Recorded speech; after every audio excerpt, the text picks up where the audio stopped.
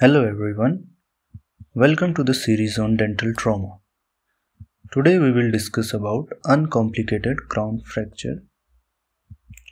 Basically, crown fracture can be divided into two groups based on the involvement of dental pulp. Uncomplicated crown fracture where there is no pulp exposure and complicated crown fracture that presents with an exposed pulp. In uncomplicated crown fracture, there may be only enamel fracture or enamel and dentine fracture. Management of enamel fracture involves recontouring and restoration.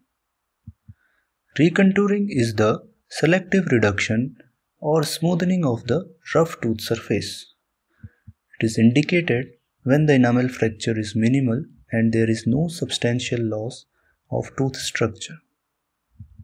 But if the shape or extent of fracture is too large for recontouring, the missing tooth structure can be restored with composite. The management of enamel and dentine fracture involves fragment restoration, restoration with glass ionomer or composite, and the use of temporary crowns. Fragment restoration is the reattachment of fractured tooth segment using a bonding agent and composite resin. It is indicated when the fractured segment is recovered intact after injury. Now the point to note here is that the fractured segment must be rehydrated by soaking in water or saline for 20 minutes before bonding.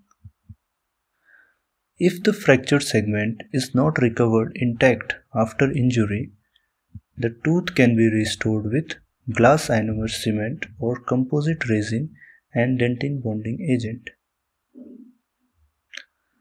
Calcium hydroxide liner is recommended if the remaining dentin thickness is less than 0.5 mm, in which case the pink pulp will be visible without any bleeding. Temporary crowns are indicated when there is extensive or horizontal fracture requiring higher strength of restoration or when the fracture is too close to the gingival margin and is difficult to isolate. That's all about uncomplicated crown fracture. In the next video, we will discuss about complicated crown fracture. Till then, do like, share and subscribe to the channel. Also, you can download the Medical Sutras app for more notes on dental and medical topics.